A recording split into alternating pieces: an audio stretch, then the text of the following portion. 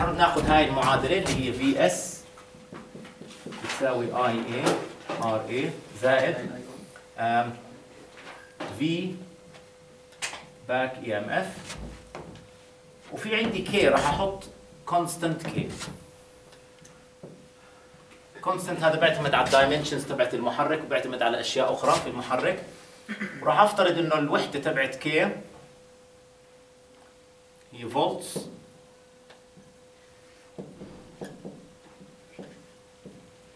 radian per second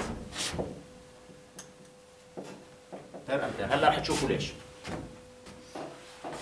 ف K هو ال constant وبيعتمد على قيمة ال field current أو خليني عشان ما ألخمكم خليني أترك هلا هذا شوي بعدين بنرجع له. خليني أفترض إنه K هي constant بيساوي volts per radian per second هذا constant بيعتمد على ال dimensions تبعت المحرك يعني بيعتمد على عدد ال conductors الموجودين. بيعتمد على طول بيعتمد على طول هذا ال conductor بيعتمد على ال flux اللي موجود في هذا ال system. Okay؟ هذا constant مهم. وخلينا نرجع نطلع الآن على ال DC motor رح ناخذ هذا هيك. وفي عندي I A مرة من I A وفي V back EMF هلا اطلع على هذا المحرك ال ideal الموجود هون. طلعت منه R A إيش ال power اللي داخلة عليه؟ I في V. مش هيك؟ واضح. وحدتها؟ واتس اذا ال power اللي داخله على هذا ال ideal من هون بتساوي I A في V back EMF في بعض كتب بتسميها V A طيب. وهذا لو اهملت ال friction اللي طالعه منه إيش ال mechanical power اللي طالعه من هذا ال system راح تكون؟ ال torque لا mechanically ال torque راح تكون راح أسميها ال torque induced مضروب في إيش؟ في اوميجا مظبوط؟ ولو اهملت ال friction هلا للحظة هاي الكمية المفروض إنها مساوية لهاي الكمية. ال losses راحت في ال resistor هذا من هون. اذا عندي under ideal يعني لو أهملت ال friction ignoring friction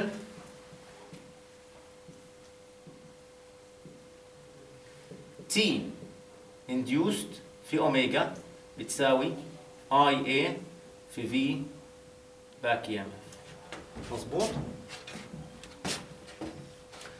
هلا صار عندي من هون.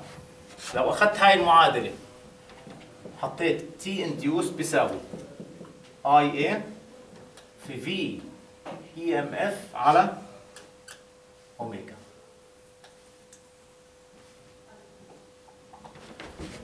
طلع هاي المعادلة. إحنا قلنا ال torque بتناسب مع إيش؟ مع I A هاي ال quantity من هون constant راح اسميه K ف K بتساوي V EMF على omega أو V EMF بيساوي K في اي ام اف على أوميجا أو في اي ام اف بيساوي كي في أوميجا. هي المعادله الثانية. وهذا محله راح أحط هون كمان K هلأ طلع على هاي المعادلة. إيش هاي المعادلة بتقول؟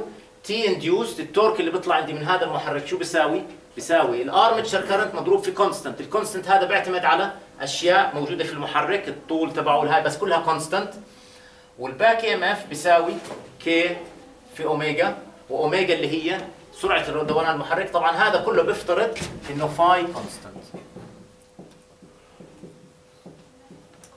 إيش كانت وحدة K volt per radian per second هل هذا صحيح من هون؟ إنه وحدة V volt per radian per second طلعوا هون إيش وحدة V لازم تكون؟ إيش وحدة أوميجا؟ إذا ضربت volt per radian per second ضربتها في راديان آه، ضربتها في radian per second راح تشطب ال radian per second مع ال radian per second إيش بضل عندي؟ فولت الأصعب وين أثبتها؟ هاي. خلينا نثبت هاي الثانية إنها فعلا وحداتها صحيحة. فإحنا بنقول إن ال torque بيساوي T induced بيساوي I A I A معروفة وحدتها اللي هي أمبير. مظبوط؟ K وحدتها. volts radian per second minus 1 مظبوط؟ السؤال هون هل هاي بتساوي نيوتن متر؟ مظبوط؟ مش هيك اللي بدنا نثبته؟ I في V إيش وحدتها؟ واتس والوات هي عبارة عن إيش؟ joule per second فبتصير هذه joule per second هلا هاي radians per second بس تحت ال minus آه هلا الراديان بقدر أتخلص منه بعتبره dimensionless second minus 1 minus 1 شو بعطيني؟ واحد second فهاي بتشطب مع هاي dimensionally مش الجول هي نفسها وحدة النيوتن per نيوتن متر اذا هاي dimensionally صحيح هاي صارت عندي المعادلة المعادلتين الأساسيتين هي نفس ال K ال K هاي بتعتمد على ال design تبعت المحرك. خلينا نحط هذول المعادلات كلهم هون. صار عندي T induced بتساوي K في I A V back EMF بتساوي K في باك ام اف بتساوي كي في اوميجا وبعدين عندي V source بيساوي I A R A